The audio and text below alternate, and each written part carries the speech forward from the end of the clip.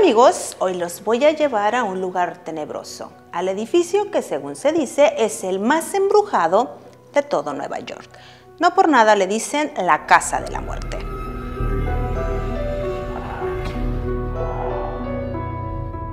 La Casa de la Muerte se ha ganado ese nombre gracias a las terribles historias que han ocurrido entre sus paredes. Ubicada en el 14 West de la calle 10 cerca de Washington Square Park en Manhattan, este edificio de estilo renacentista pareciera uno más de entre los miles que hay en esa área. Pero no lo es.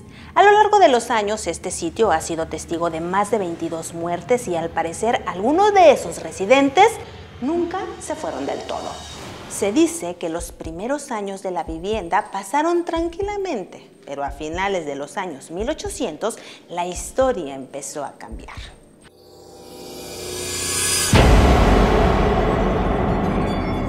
Todo comenzó cuando la familia Burman Johnston adquirió la propiedad en 1880. Cuando James Burman, el padre, falleció repentinamente, entonces el ambiente del edificio pasó a transformarse en algo perturbador. Se dice que el aire se sentía pesado, los objetos se movían de un lugar a otro y se escuchaban ruidos y lamentos en las madrugadas.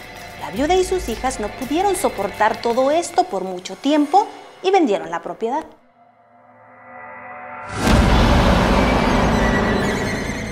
Sin duda, uno de los inquilinos más famosos del lugar fue el escritor Mark Twain, quien, según se relata, a pesar de no creer en hechos paranormales, fue testigo de objetos que se levantaban por el aire y situaciones inexplicables dentro del edificio. Algunos de los siguientes propietarios afirman que la presencia de Twain continúa en la casa aún después de que el escritor falleció, pues según sus relatos, algunos de ellos se toparon frente a frente con él. Las apariciones, hechos paranormales y cambios de ánimo inexplicables de los inquilinos y sus mascotas siguieron ocurriendo a lo largo de los años e incluso el 2 de noviembre de 1987 el sitio fue el escenario de un crimen atroz que costó la vida a una menor de 6 años.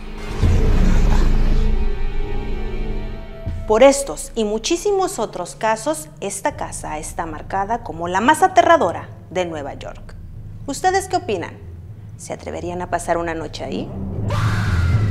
Yo soy Sandra Castro. Déjenme sus comentarios y hasta la próxima.